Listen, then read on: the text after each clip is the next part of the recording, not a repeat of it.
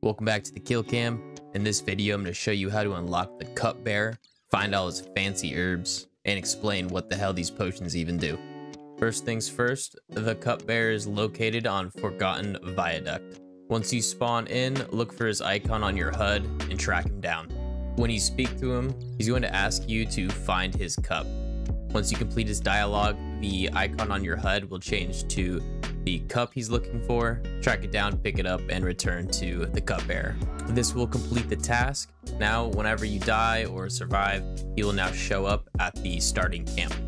Once you talk to him back at the camp, he will explain that he can make additional potions, but he requires certain herbs to make potions. He will also give you a medallion to help you track down those herbs. If you want to find the herbs easy, go over to your stash, equip it, and run it in the next raid. The way the medallion works is in the top left corner of your screen, you see two open hands.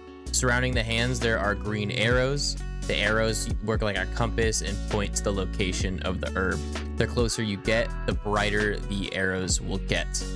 Once you pick it up, there will be a mob that spawns. They look all green.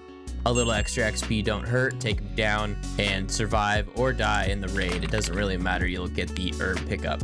There are three herbs located on Haunted Caverns, four herbs located on Ember Grounds, and two herbs located on Forgotten Viaduct. There are four potion types in total. The first is Strong Wine, which will allow you to re-roll skill choices when you level up. The second being Potion of Memories. This potion allows you to memorize a trait, which means if you don't want to choose the trait on this current level, you can use the potion on that skill and it will remain in the selection choice until you choose it. So if there's damage and attack speed and you want both, well, put the potion on attack speed, get damage this time, the next time I level up, I can choose attack speed. The third potion is Potion of Oblivion. This allows you to banish a trait. Let's say I want to get rid of movement speed.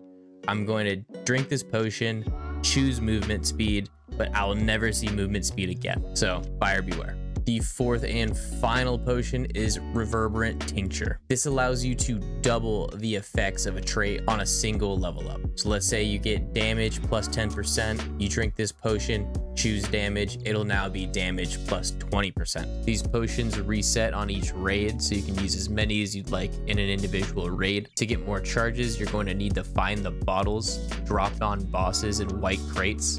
You need to bring these bottles to the well. I hope this video helped you. If it did, please hit that like and subscribe button. Feel free to catch me on Twitch. The link is down in the description. I hope to catch you live sometime back at the kill cam. Have a good one. Spit ass.